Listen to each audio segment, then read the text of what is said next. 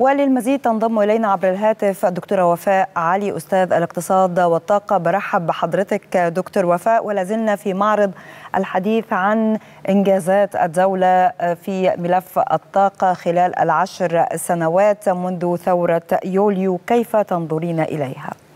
في البداية يا فندم أهلا وسهلا بحضرتك أستاذة دارين وبالسادة المشاهدين وكل عام ومصر المحروسة بألف خير. حضرتك طيبة وبخير تفضل.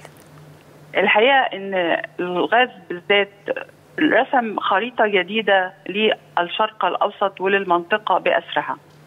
فالدولة المصرية ما زالت تحقق نجاحاتها وتواصل إدارة هذا الملف بمنتهى الرشادة ومنتهى الاتقان وهو من أهم الملفات لاستغلال الثروة الأمثل لمصر ألا وهي ثروتها من الغاز الطبيعي.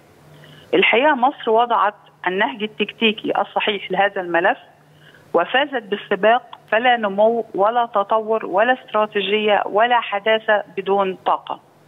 الحقيقة لنا أن نقول وبكل فخر وبأعلى صوت هنا القاهرة عاصمة الطاقة.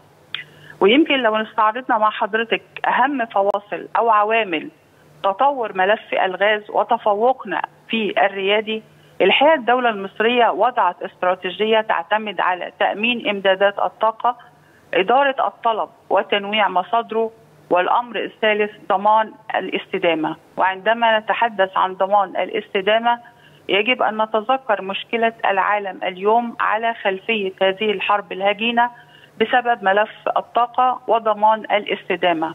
لقد أدركت مصر مبكرا وقيادتها السياسية أن الطاقة مسألة أمن قومي أو أي حياة أو موت أو بمعنى أصح هي الزراعة الأيمن للتنمية المستدامة.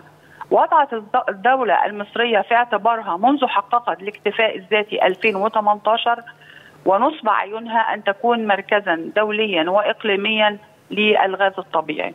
وأن لدينا كل العوامل المربحة والتي تفوقنا فيها في هذا الملف فيشهد علينا معاملنا للإسالة الرابطة على شاطئ المتوسط شامخة بتحدث العالم عن قوة مصر في هذا المجال. الأمر الثاني أن مصر الحقيقة وضعت استراتيجية هامة جدا تعتمد على زيادة قدرتنا في التسييل زيادة الكميات المكتشفة. فتحنا آفاق جديدة عن طريق منصة مصر التكنولوجية اللي بدأنا بيها نستقبل المزايدات العالمية للبحث والاستكشاف وتوسيع مناطق البحث والاستكشاف بدأنا أيضا في زيادة الاستثمارات في هذا القطاع وهذا القطاع الحقيقة تم ضخ استثمارات فيه كبيرة منذ 2014 حتى الآن. الأمر الثاني هناك حسن إدارة لهذا الملف سواء على المستوى المحلي أو على المستوى العالمي.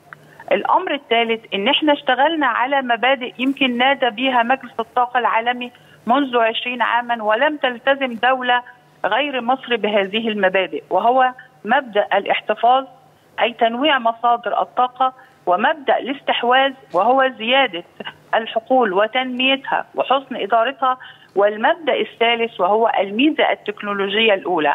وكل التقارير الدولية التي صدرت سواء عن فيتش أو عن الوكالة الدولية للطاقة قالت أن مصر تستطيع ولديها كل الميزات التفاضلية والتمكينية للإنتاج في كل مراحل سلاسل القيمة المضافة.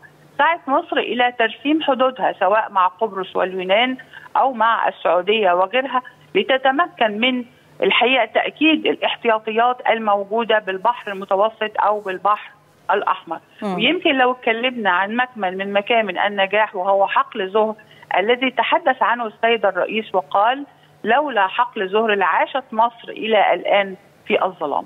اللي هنا بنتكلم عن دولة كانت تعيش في ظروف صعبة جدا وتحاول أن تدبر نفقاتها لاستيراد الغاز إلى دولة مصدرة بل وتضيء المنطقة بأسرها منطقة الشرق الأوسط بأسرها لأن إحنا الحقيقة فتحنا آفاق جديدة من ملف الغاز الطبيعي هذه الآفاق يا أستاذة دارين مكنت صانع القرار صحيح. من أمرين مم.